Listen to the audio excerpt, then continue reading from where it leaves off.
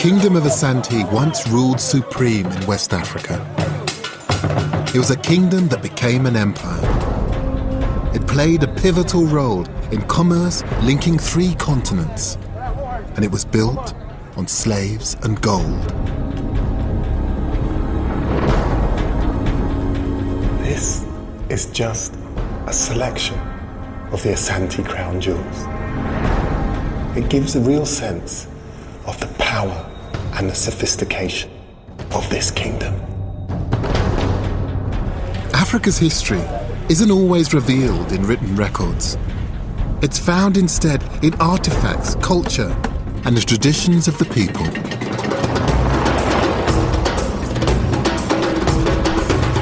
We know less about Africa's distant past than almost anywhere else on Earth. But the history of this continent is as important and valuable as any other. In this series, I'm exploring some of the richest and most vibrant histories in the world. And I've come to Ghana in West Africa to explore the kingdom of Asante. It's just one of the continent's many historic and often overlooked kingdoms. Asante was among the most impressive. And it was found deep in the tropical forest, which raises some questions. How did a sophisticated society emerge from some of the toughest conditions on the planet? How was the Asante kingdom created? And what happened to it?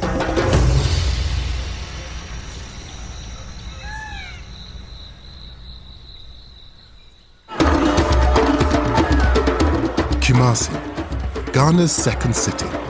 Today it's home to one and a half million people. In the 18th and 19th centuries, Kumasi was the center of power of the Asante Kingdom. A British visitor named Thomas Bowdich came here in 1817. He wrote a remarkable account of the royal court he encountered. The king, his tributaries and captains were resplendent in the distance, surrounded by attendants of every description. At least a hundred umbrellas or canopies, which could shelter 30 persons, were sprung up and down by the bearers with brilliant effect, being made of the most showy cloths and silks and crowned on top with crescents, pelicans, elephants, barrels, and arms and swords of gold. Wow, it, sound, it sounds quite something. Yes, and if uh, there's a pictorial depiction of this scene in, in this book itself, so I could show that to you. And Historian Mary Owusu is an expert in the an Asante idea Kingdom. Of, here it is. Luckily, it's in color, you know. It's truly spectacular. Mm-hmm. And it, when one talks about kings and courts, you have a kind of certain idea of the extravagance and, and bright cloths and everything. And this fulfills all of that. And you can see, is this, is this figure here, that that, that, that would be their Asantehene, the king. Yes. You see? And he has a lot more gold on him. And then the people. But that's also what power is about. It's about human beings, the number of people you control, as uh. well as having the wealth to go with that control. There's a real display of power, and I guess that the, the most significant sign of that is just how much gold is in evidence, just everywhere. It's pretty obvious looking at these, Mary, that they're trying to send a message. The Asantehene's right at the centre. The, the British you've come to visit, the, all of the these different subjects, There's musicians. something you're, you're seeing but not seeing properly. What aren't I seeing? See these people here? Yes. They're holding skulls, oh, human skulls, skulls of important individuals who have been overpowered to show how much control the king had. This illustration shows a wealthy state with an uncompromising grip on the kingdom. Fascinating though the account is, Bowdich only really got a snapshot of the Asante. And it doesn't reflect one of the most remarkable things about this kingdom how it came into being in the first place. Asante emerged a little over 300 years ago in territory now occupied by the Republic of Ghana, in the heart of West Africa's forest zone.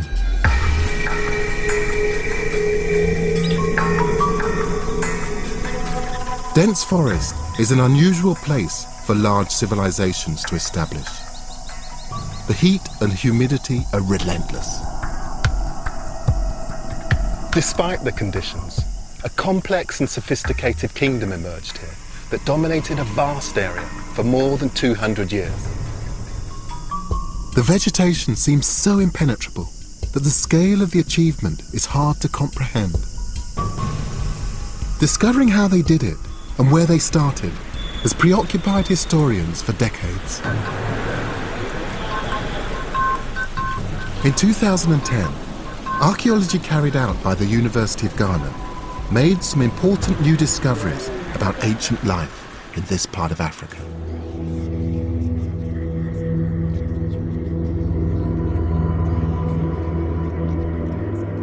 These are fire clay figurines we recovered from a site in northern Ghana, dating to the 9th and 10th centuries. Dr. Benjamin Kankpeyeng and his colleagues found some 80 terracotta figures, perhaps a thousand years old, in savannah north of the forest, depicting animals and humans. He believes they were part of a shrine. What this points to is a very complex culture. I mean, even if you look at these as depictions of the world that surrounded the people who made them, that you can see that they're wearing jewelry, body adornment. Exactly. That this is obviously a very, very complex culture. Yeah, for sure. As far as we know, one of the markers of civilized society are ritual complexity, possibly marked by these uh, artistic figures, mm. quality ones mm. as well. The figurines indicate sophistication among the peoples who lived in this region of West Africa. But so far, archaeologists haven't proven any link between these objects and Asante. In fact, conclusive evidence has yet to be found of the precise origins of the Asante people, for good reason. It's challenging for archaeologists looking for ancient sites in this thick vegetation that thrives in heat and humidity. They simply don't know where the early Asante came from. The forest has yet to give up the physical evidence that might reveal what happened many centuries ago.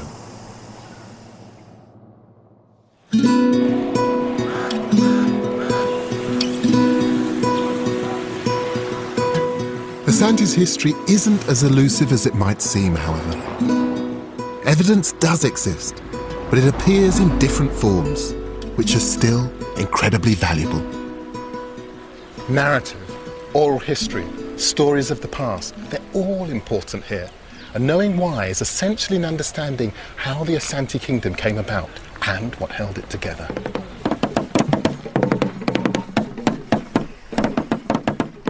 These people are heading to the most hallowed spot in Asante territory. This is oral history in action. Their destination is a sacred site within a forest called Asante Manso, where a seldom held ceremony is taking place. It celebrates the seven clans who first established communities in the forest, and in so doing, laid the foundations of the Asante kingdom.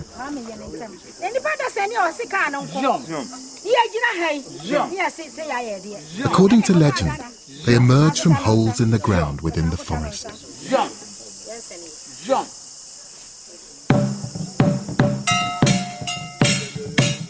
Sacrifice emphasizes the significance and rarity of the ritual.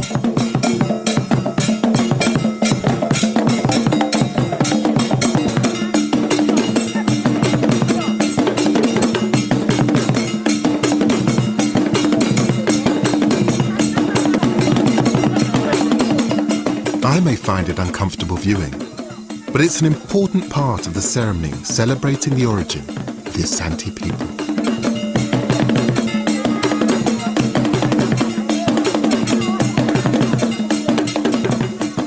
It doesn't really matter whether we believe that the Asante came from a hole in the ground or not. These myths are every bit as important today as they ever were. Many things decay in the heat and humidity of the forest, but folk memory lasts. Archaeologists can't be certain that Asante's ancestors came from exactly this spot, but the belief in forest origins does chime with what historians have established. The ancestors of Asante were Akan people whose language is still spoken. The Akan hunted and foraged for food around 600 years ago. But 300 years later, a sophisticated kingdom had emerged. In between, the Akan people and their environment went through a significant and rapid transformation.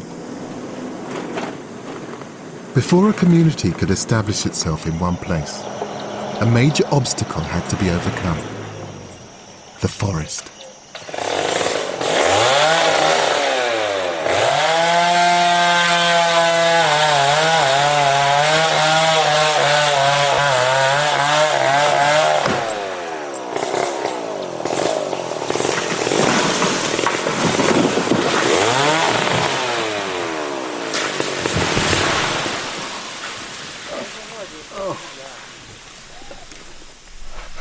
Just unbelievable. If you think the original Asante, that they cleared this forest, trees of that size, by hand. During the peak of the forest clearance 500 years ago, the Akan used axes to weaken the trunks and then pulled the trees down with twine. Clearing the forest was a vital precondition for settled society.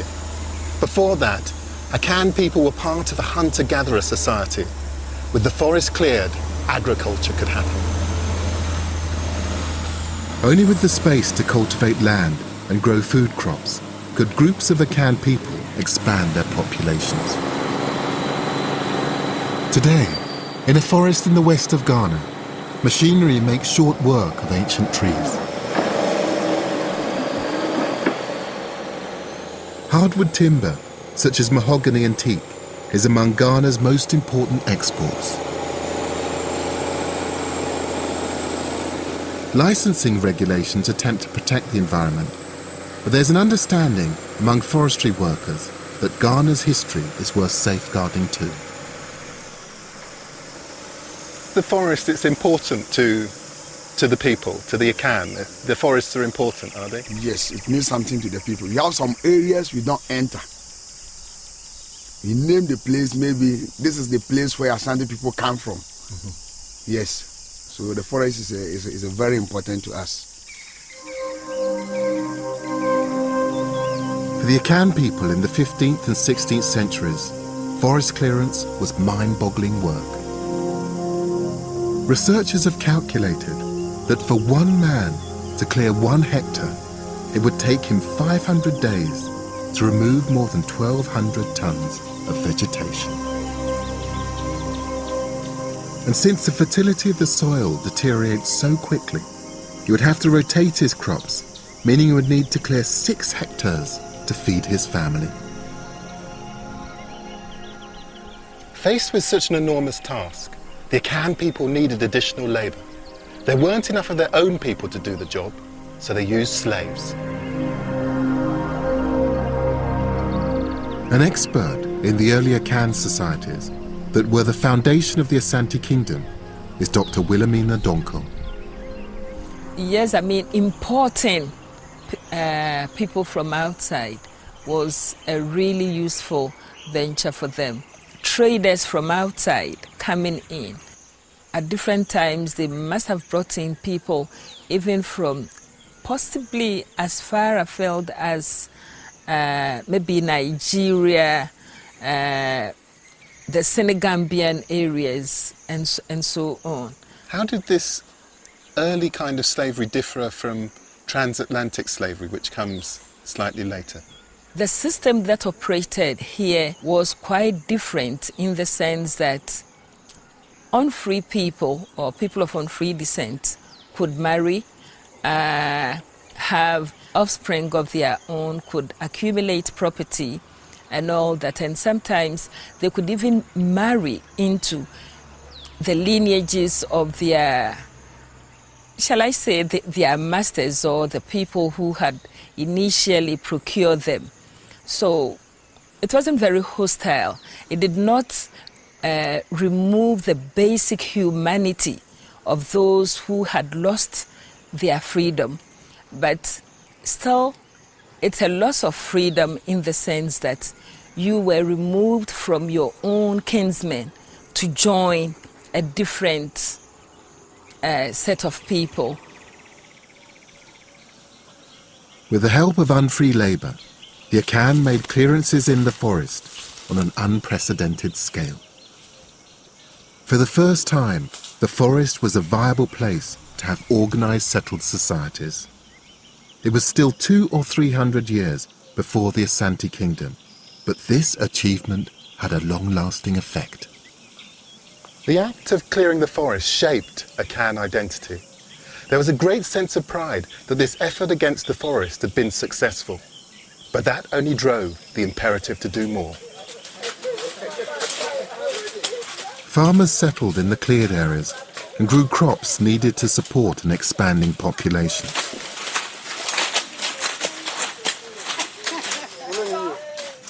Today, cultivation still happens among the dense undergrowth. This is your farm, is it? This is my farm. And could you tell me um, what, what sort of um, produce do you farm here? Yeah, I do produce um, uh, uh, this type of fruit, eh, which is plantain. Yeah. Uh, I planted this, and it takes one year to harvest. This is called cocoyam, and I planted cocoyam. It's like a potato, it's a Yeah, starchy. yeah, it's starchy like potato. Yeah. How do you keep back all of the, the, the weeds and the big trees that seem to be growing so voraciously on the edge of your farm? We use this cutlass, uh, so all of them will come once and weed everything.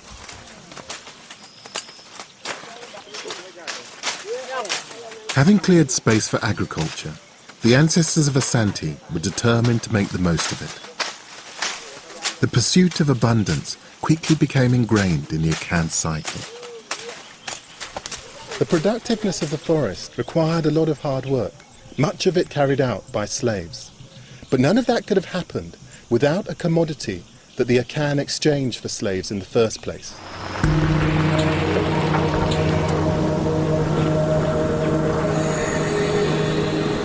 Still found deep within the forest is the precious resource that paid for labour and transformed the Akan people. I'm on my way to one of the 10 largest gold mines in the world.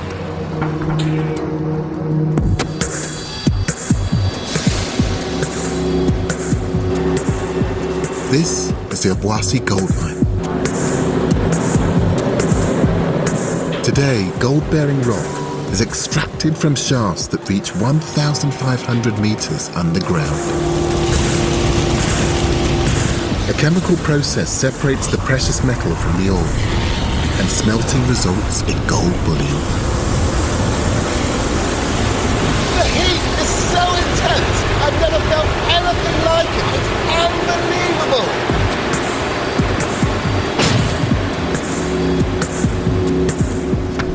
Worth over six billion pounds at today's prices has been extracted from here since the end of the 19th century. But it's been mined in this region for a lot longer than that. No one now knows when the Akan people discovered gold, but it is clear that they were mining it when they were clearing the forests in the 15th century. In those days, the gold was found much nearer the surface, and it was smelted by the Akan using Iron Age technology. The precious resource was critical to the transformation of the forest and to the foundations of the Asante kingdom. And gold provided by the forest gave the people a significant place in a much wider economy. Akan gold found its way to North Africa and beyond via trans-Saharan trade routes, and gold paid for not just slaves, but textiles, brass, copper and salt. From the 1470s, Akan gold had a direct route to Europe via Portuguese merchants on the coast. In exchange for gold, they sold guns. A map made by a merchant in the 16th century shows who the Portuguese were dealing with. The most successful Akan were amassing power.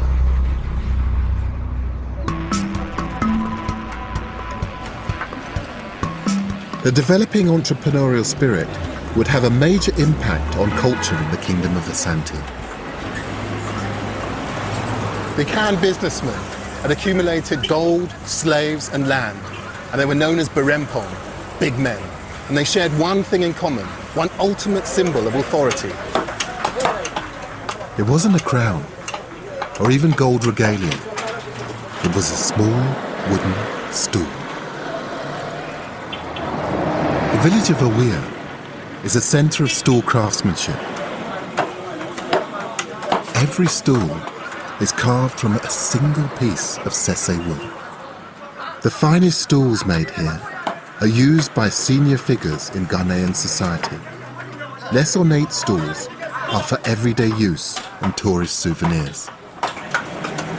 According to leading Asante scholar Professor Kwame Arhin, the stool was more than a seat to the Akan big men is a symbol of status. Now, uh, status in the sense of authority, power, um, um, and standing in society. And it begins with the uh, earliest lineage, you know, the family, uh, family unit. Uh, the eldest had to have a symbol of authority over everybody. So then he had a stool made for him. And why is the stool the symbol? I suppose the, uh, the material used for it was durable, durable because he wanted it to last. Now, a stool is a way of remembering or a, a, a means of remembering.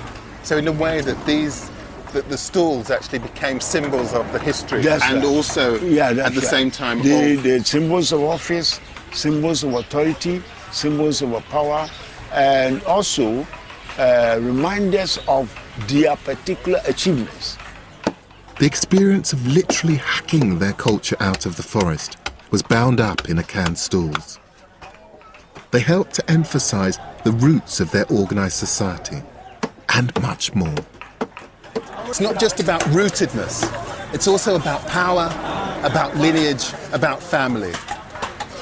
They actually have in the center of them an empty space where people could put things that they treasured that brought this object to life, made it more than just a seat. It became, in a way, a vessel that carried history. The stool's authority translated into political power for its chief. As the communities around each stool grew, they became less a collection of farmers and workers and more like highly centralized states. By the mid 1600s, dozens of independent village communities had turned into a patchwork of Akan states. The most powerful was Denkyira. It controlled some of the richest gold mines in the forest. For decades, its neighbors sent tribute by way of slaves and other gifts to keep the peace. But Denkyira's position as the most powerful of the Akan states was not to last.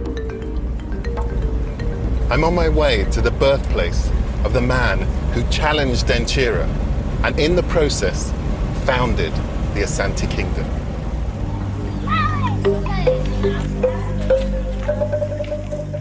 Denkyira's demands on its neighbors left it with few friends and many enemies.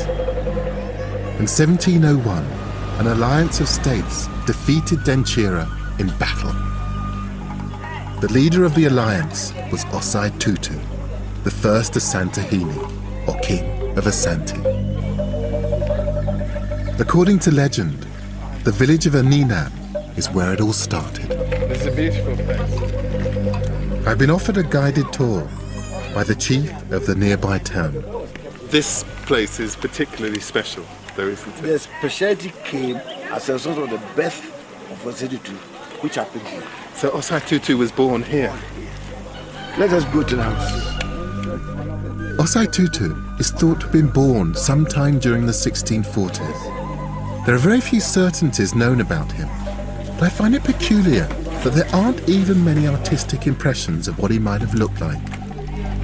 The chief is taking me to see one of the very few. And this is where the woman was always sitting down to take care of the child after washing the child. And these are This little shrine shows an infant Osei Tutu in his mother's arms. It doesn't give much of an idea of what the man was like. What kind of person was he? He was a mysterious man, a warrior, a builder, who was able to establish a kingdom.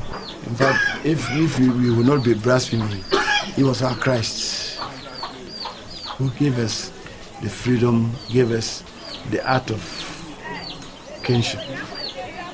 And he managed to put us together. The sculpture's strikingly Western in its appearance, and I think the use of Christian iconography is deliberate. If Osei Tutu is to be remembered as a messiah, it makes sense in this now very Christian country to remind people of Mary and Jesus.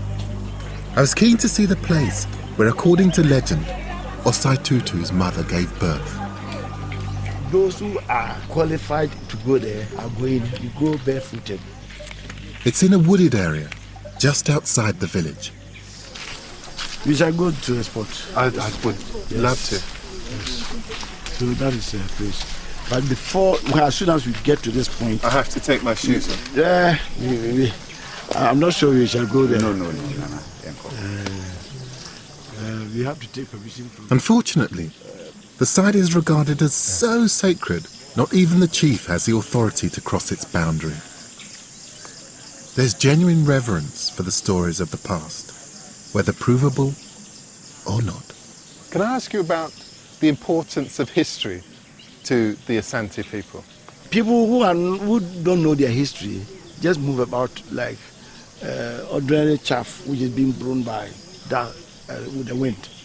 But those who know their history try to keep the pride that the great ancestors created for them. If we want to maintain our status, maintain our stature, we need to have background of what happened in the, in the past and try not to go away from it, maintain it. It need, need be modify it to suit conditions as prevailing presently.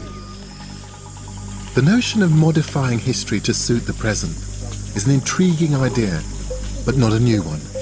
It's exactly what happened when the Asante Kingdom was created over 300 years ago, an event commemorated in its capital, Kumasi.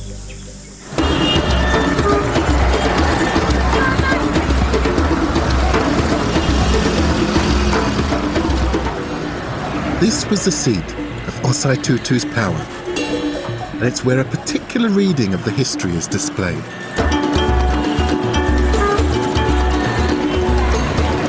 This modern statue commemorates the most significant and legendary moment in the creation of Asante.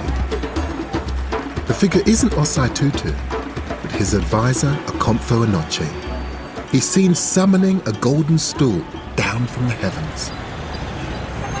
According to folklore, the golden stool is the spirit of the Asante nation.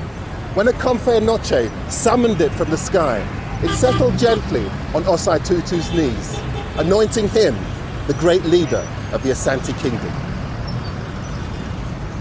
The Okomfo Anokye was Merlin to Osei Tutu's King Arthur. Historians aren't even certain that he ever existed, but by promoting the myth, the Asante state deliberately mixed belief with fact. The Golden Stool gave Osei Tutu spiritual power to bolster the military leadership he'd already shown. The Golden Stool was displayed periodically to reinforce the legend. The rarity of its public appearances adds to its mystique. The faith in the stool's supernatural origins gave its owner authority and gave the Asante people a strong sense of belonging.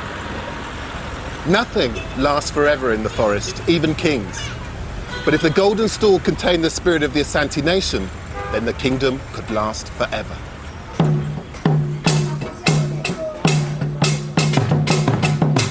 Asante royalty followed the ancient Akan tradition of succession on the mother's line.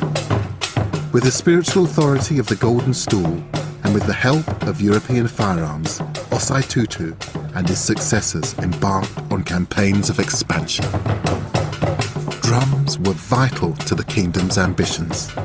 Long distance communication meant Asante's imperialism could be fast and effective.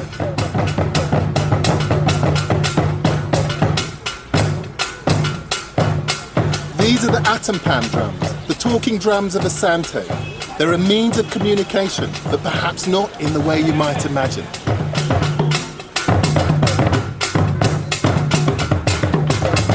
These drums don't just beat out a rhythm, they speak. And if you know the language, you can hear words and phrases. That was great. Thank you so much. That was, it's just amazing. And just to hear, you don't just hear it, you feel it. It's absolutely wonderful. So each one of these drums have a different sound, a different function. Is that right? Yes. This one is this one is a female.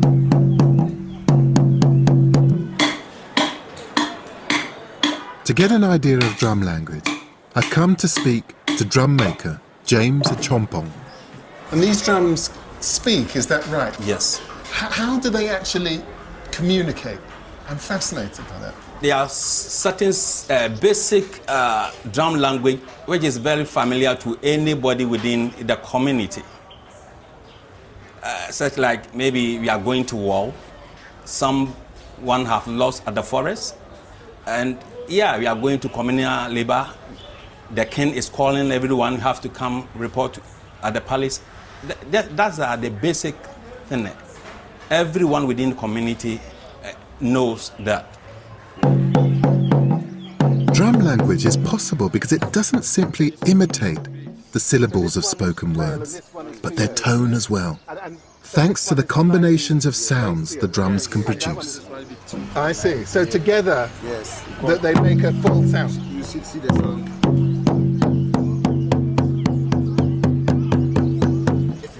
I can call you. You can call me? Yeah. yeah if you, what is your name? My name? Yeah. My name is Gus. How would you do that? How would you call me? I should yeah. call you. Amateur. You call me. Amateur. I'm not, I don't, don't I apologise for my stupidity, but I don't, I can't see the relationship. Do Gus again. no, no, no. Do Gus again, please. Do Gus, Gus. Uh, say Atakakra, come. Ata Junior, come. The talking drum in the olden days was the only means to communicate from a village to other village. So there was no telephone then. So normally the community used the talking drum to, uh, to send messages from village to other village. you kill thousand, thousand will come. Asante Kotoko. So that, that's the great Asante saying, isn't yes, it? Yes. Asante Kotoko. Asante Kotoko. So that one saying, when you kill a thousand, yeah. a thousand will come. Yes. The common language of the region made this form of communication extremely effective. Asante had no standing army. Instead, every village was expected to contribute soldiers to campaigns ordered by the Asantehene. The reservists responded to the drummer's call to war, and the kingdom expanded rapidly in the first half of the 18th century. Asante soon dominated territory that stretched beyond the borders of modern Ghana. Previously independent states were coerced into a federation with power centralized in Kumasi. States were either forcibly conquered or submitted to Asante's power. They became provinces of the kingdom. Their chiefs became vassals of the Asante king, the Asantehene.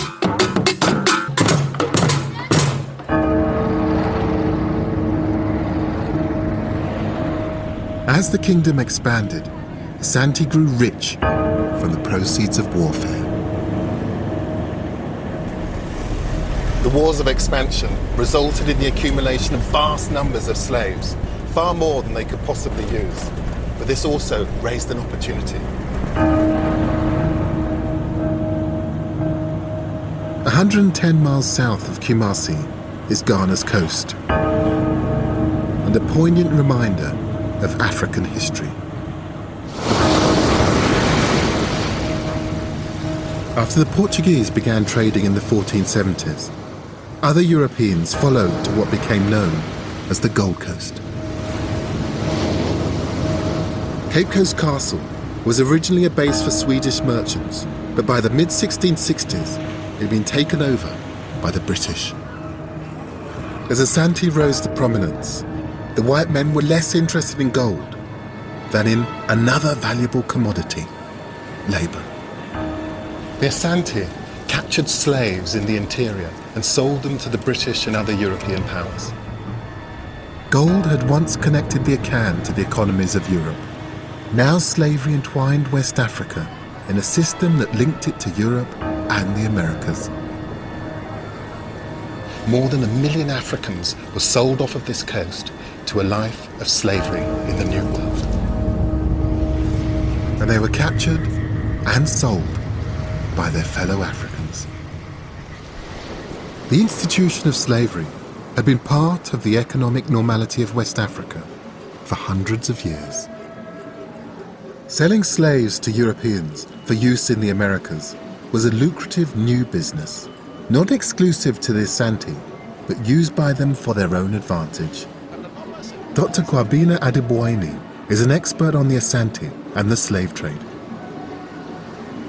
After it had been established as a kingdom, you know, for economic reasons and for other reasons, Asante began to expand beyond the boundaries of the core kingdom. And that is where the issue of acquiring slaves for sale came in. Under normal circumstances, you, you, when you are fighting, you, you kill your enemies. You see, but the slave trade had already emerged as an economic system.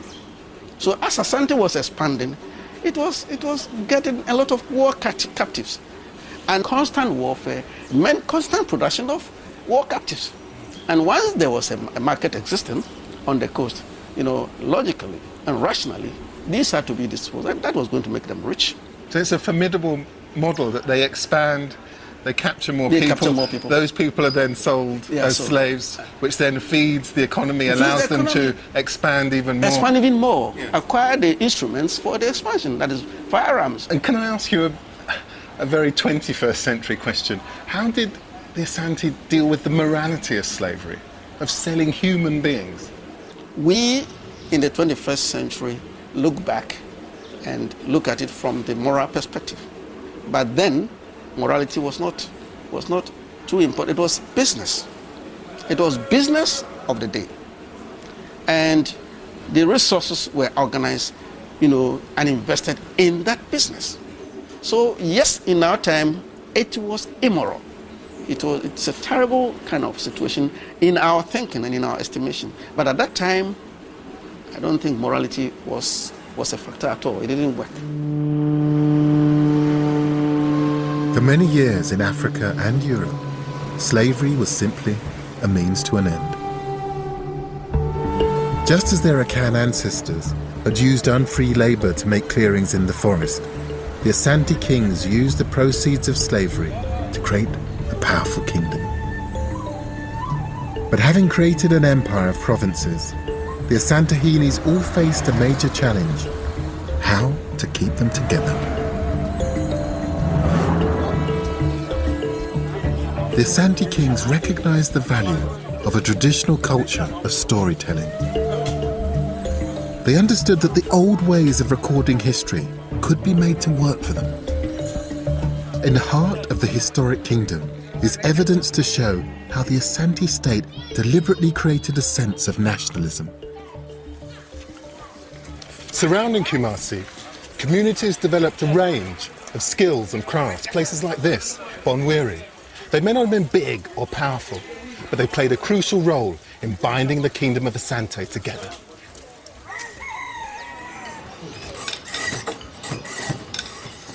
I've come here to see Kente, Ghana's famous patterned cloth. To many people, this is simply brightly coloured material used to make clothes. But there's a lot more to it than that. What's amazing about Kente cloth is every single one of these patterns has a different meaning. And these are meanings that are used to weave the Asante community together. Even the textile itself is symbolic, made by joining individual strips of material. The word kente means whatever happens to it, it will not tear. And each pattern represents a proverb. We call this my heart desire. My heart's desire? Yeah, my heart desire. I'm like Isaac, one of the weavers of the workshop, is showing me how messages can be found in the material. Many of them reinforcing a single basic idea we're better together than apart. The black is our color. This is um, family is unity. You know, um, the Santa people, the king said that we should unite together. He said that united we stand, divided we fall. So he named this particular crop that family is unity. That's so there's a kind of a sense of narrative that you... Yes. That's the Ashanti people. We should unite together so that we can fight with our enemies. Yes. Yeah. Yeah. And is there a particular reason, do the colours Yes. They have particular meanings in particular configurations. Um, the yellow, the you see um, Africa, we have gold. So the yellow color over here represents the gold that we have, that is natural resources. Yes, we have gold. And the black is the, our color. You see, yes. And then the, the green over here, that the, the forestry that we have. We have a big forestry, yes. And then the blue is the sky. Mm-hmm. So all the colors also mean something. I see.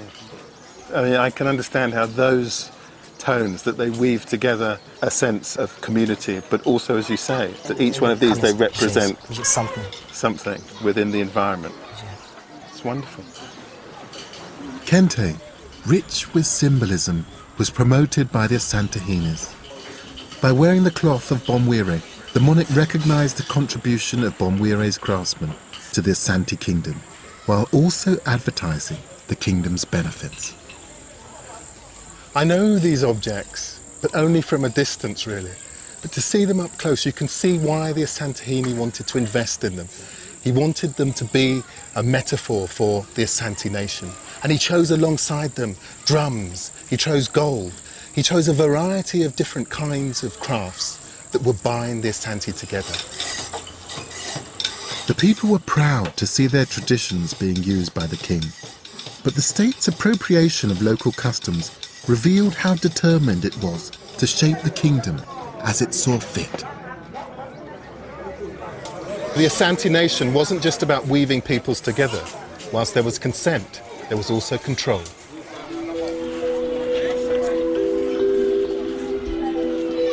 In a hundred years, the kingdom had grown significantly. At its largest extent in the early 1800s, it included outlying provinces as far as 16 days' journey from Kumasi. Its population was over 2 million, 20 times more than South Africa in the same period. A kingdom of this size required careful government. I'd been given permission to enter the royal palace in Kumasi and to see some of the instruments of control used by the state at the height of its power. The original palace was the centre of Asante government. From Kumasi, civil servants were sent all over the kingdom to implement its policies and to apply its laws.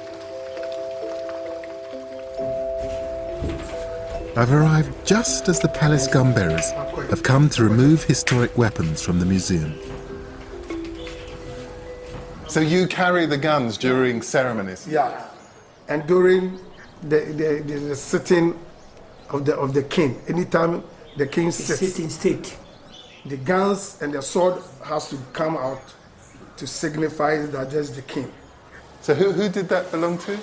That is the, the, the first king of Ashanti, Otumfuo Osei the first. Oh, really? Yes. This is Osei Tutu's gun. What amazing. European firearms had been instrumental in creating and expanding the Asante Kingdom during the 1700s. Threat of force was one way the kingdom maintained control, but other methods were just as effective. The royal palace once housed the most important part of the kingdom's bureaucracy, the treasury. Since gold was first mined in the forest, the currency of this area of West Africa was gold dust. Scales and counterweights were used for precise measurements. Even gold nuggets and ingots were smelted down and turned into gold dust so they could be accurately measured. Every transaction was in gold dust, including taxation. Look at that exquisite little object, tiny little stool. It's actually a gold weight. Can imagine them weighing gold against something like this. It's an indication of just how important taxation and financial control actually was. And the Treasury, it was a mechanism for administering all of the Asante bureaucracy. It's just another one of those institutions that was core to consolidating Asante power. Taxation didn't simply fund the government, it ensured that no individual could become significantly wealthy. Gold was not just money, it was power. And it was vital that power was held by the state. The regalia of the Asantehene had to be the very best. And the quality is just mind blowing, exquisite work. Ostentatious demonstrations of wealth by the king reminded everyone of their history, of how the gold found in the forest had been instrumental in creating the kingdom. The Asante people had long accepted that the kingdom was safeguarded if the state was rich. But those assumptions were to be severely challenged.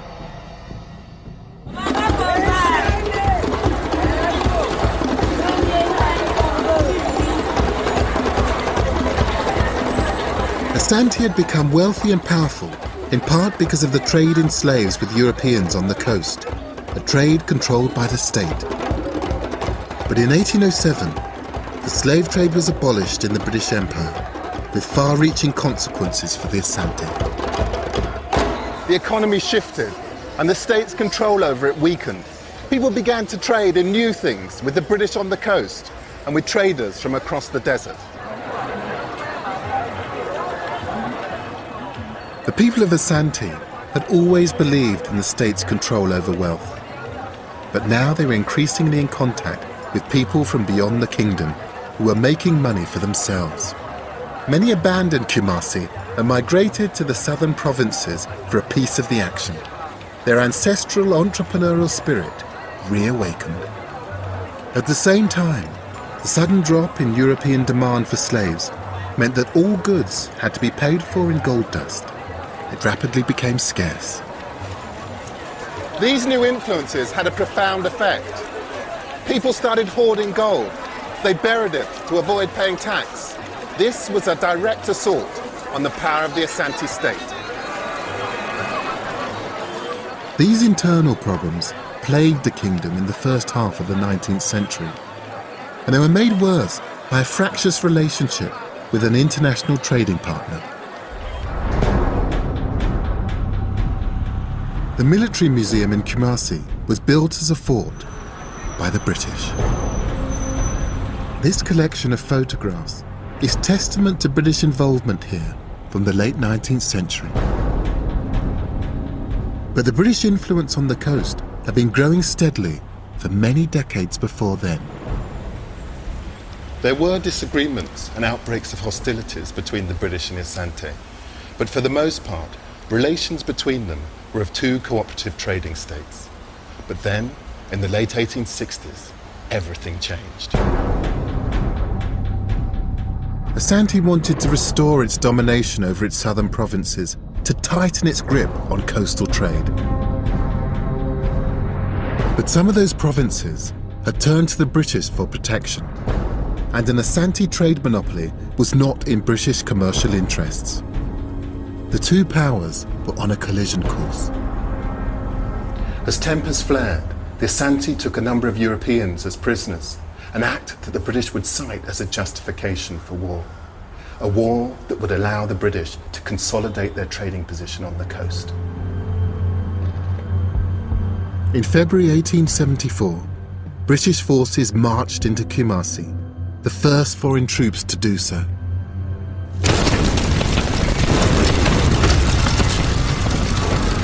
They burned it to the ground, then returned to their base on the coast.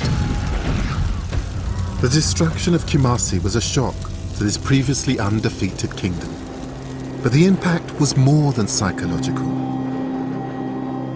As Kumasi lay in ruins, Asante was forced to accept the loss of its southern provinces. In August 1874, they became the British Gold Coast. A hundred years after Asante's empire building, the Europeans were gaining foreign lands. The authority of the Asante Kingdom had failed to withstand the challenges of the British or the changing economic realities affecting its people. The kingdom's other provinces began asserting their power, and in the 1880s, civil war threatened to tear Asante apart. The violence ended in 1888 when the factions agreed to a new Asantehene, a 16-year-old named Prempeh I. Professor Irene Odotei has explored his effect on a kingdom on the verge of destruction. So here was this young man, having come to power, uh, the question was, how was he going to manage? Manage to bring all these forces, the insiders who defected and all these other people, bringing them together to build a strong Asante nation once more. That was his challenge, peaceful Asante nation. So what he did was to re-establish the importance of the golden stool as a unifying factor for the Asantes. So the golden stool, it's, it's the rallying point for the whole nation. Yes, but at that time, we're talking about the British too, also saying, hey, wait a minute, if this man succeeds in reuniting Asante to make a strong Asante nation, we will be in trouble because that's the last thing we want. Because the British were determined now to get hold of Asante and make Asante a colony. So uh, the governor comes to Kumasi, and when he came to Kumasi, now he made demands on Prempeh the first. I think by the time the British came to make their demands, he had decided that I'm not going to fight any more wars. Let me see if I can compromise. If I compromise, one, I will save my nation, my, my nation, and also probably I'll save myself. So that was the thing. But the British were so determined. So in spite of all that, they decided that, hey, we are taking you and your mother and some of the chiefs and then send them to Sierra Leone for three years. And from there, send them to the Seychelles Island. The enforced exile of Prempeh in 1896 stopped the kingdom's resurgence in its tracks. Six years later, Asante was formally incorporated into the British Gold Coast colony.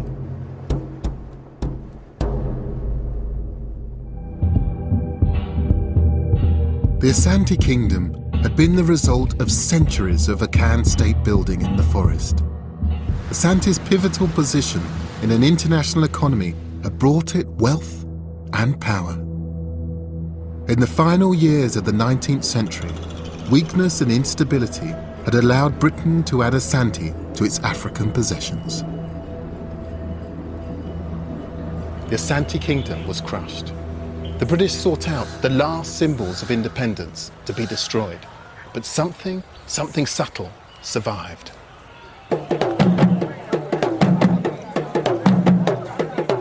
British had failed to destroy the spirit of the Asante nation, or its physical embodiment, the Golden Stool. It was a significant error, as palace historian Osei Kwadwo explained. Our spirit, our everything is in the golden stool. So that when even the British tried to take the golden stool away, We did our best to hide it, and they never saw it. So they later found that it was not the occupant of the stool who mattered, because we fought so that they could not take the golden stool away, and they never saw the golden stool. So to us, I say we were victorious.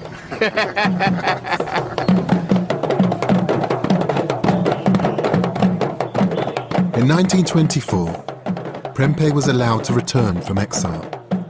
The golden stool reappeared at the royal palace.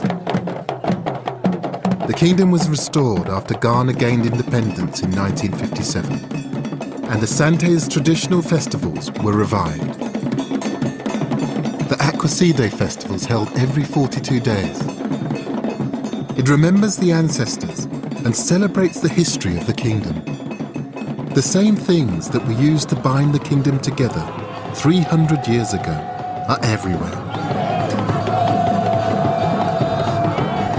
The gold that was once mined deep in the forest, the drums that beat out the proverbs of Asante, the kente cloth that carries the slogans of unity, all in stunning display. You understand why they chose gold in this light with the kente. It just looks extraordinary. No, no, no. These symbols of power. No, no, no, And suddenly you understand them. They're just dazzling in this light.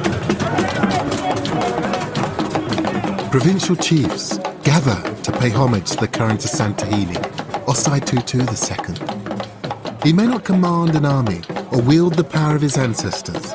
There's no doubt about his importance to the Asante people. Just amazing to get this close to the king of Ashanti, wearing all of that gold, that kente, the story that we try to tell, alive and well in this man, the embodiment of our story. This is a celebration of history, but it's history with a purpose. We dwell upon our uh, history to improve upon our future. That's why our history is very important for us. And so for the future, do you feel that the kingdom is in good health? Yes. One thing I see is that our people are proud to keep the culture. And we are Asantes because of our culture. The Asante state once used mythology and traditions to assert its origins, reinterpret history, and forge a kingdom.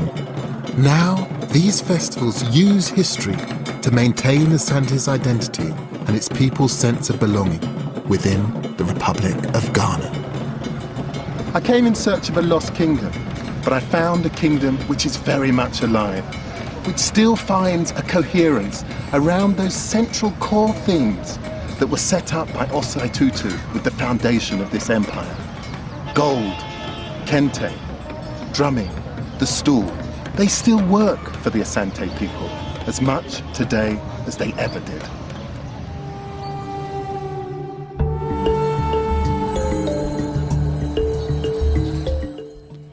And brand new Lost Kingdoms of Africa continues here on BBC4 at the same time next Monday. Next tonight, though, back to the wall with Only Connect.